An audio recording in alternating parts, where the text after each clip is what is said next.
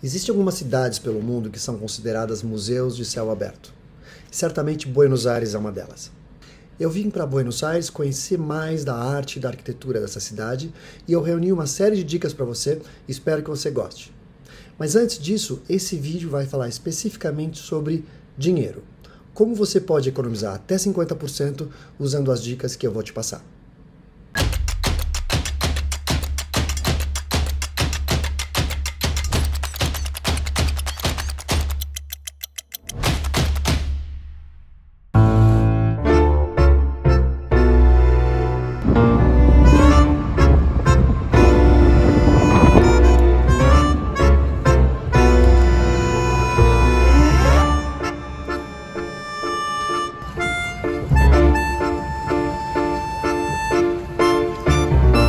Argentina vem passando por momentos difíceis e o governo tem mantido um câmbio oficial que não é compatível com a economia do país.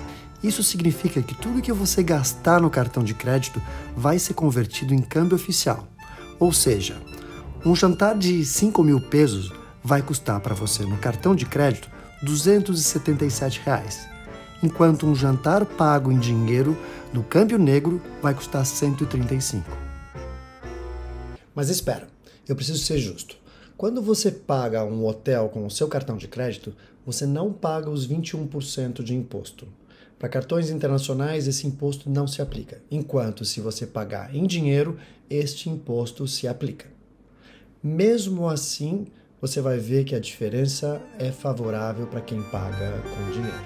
Por exemplo, se você pagar 10 mil pesos em um hotel, isso significa no seu cartão de crédito mais ou menos 588 reais. Enquanto se você pagar 10 mil pesos em dinheiro, os valores vão ser de 318 reais, com um desconto de 54%. Mas como fazer? Trazer tudo em dinheiro? Sim e não. Eu vou falar o que eu fiz. Eu cheguei pelo Aeroparque, que é o aeroporto mais central de Buenos Aires, às 11 da noite. Eu não tinha nenhum peso no bolso, então eu fui até uma agência do Banco Nacional, que fica no próprio aeroporto, e troquei 10 dólares. E, a um câmbio oficial, eles me deram mil pesos. Com esses mil pesos, eu peguei um táxi e fui até o meu hotel. No dia seguinte, eu fui até a recepção do hotel e perguntei se eles sabiam onde eu podia trocar esse dinheiro. Eles me indicaram um quiosque na frente, aliás, quiosques é o que não falta nessa cidade, e esta pessoa me trocou a um câmbio que se chama dólar blue ou real blue. Eu optei por trocar somente reais, já que eu tinha dólares no bolso, mas eu não queria incorrer em duas vezes uma taxa de câmbio entre real, dólar, depois dólar, peso. E eles trocam muito bem reais aqui. E troquei reais. Ele me deu uma taxa de câmbio de 32 para 1 ao contrário do câmbio oficial do dólar, que é de 18 para 1.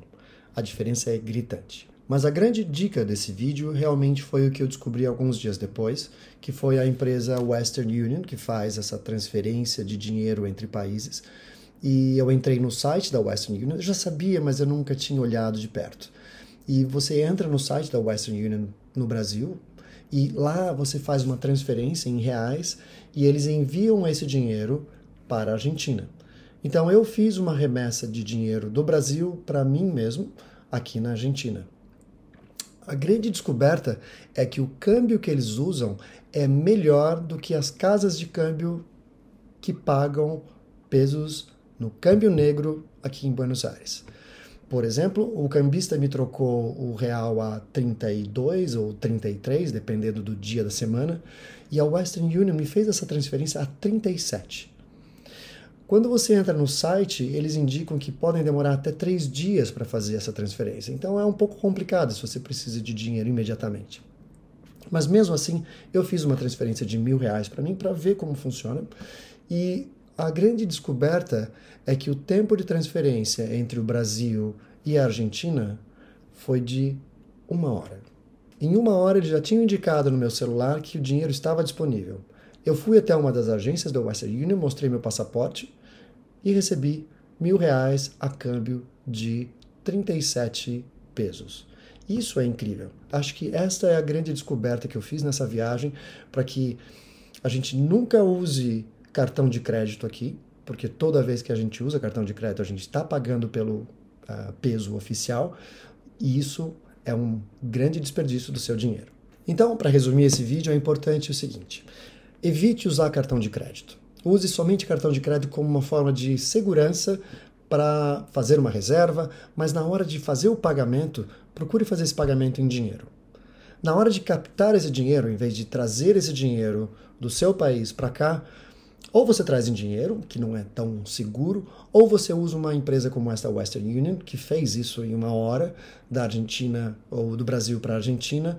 Eu fui até lá, saquei o dinheiro, fiz o pagamento no hotel e resolvi meus problemas. Tá? Espero que vocês tenham gostado dessa dica e agora as próximas dicas vão ser muito mais voltadas para arte e arquitetura desse país. Pelo menos agora economizando um pouco mais de dinheiro. Obrigado e até a próxima.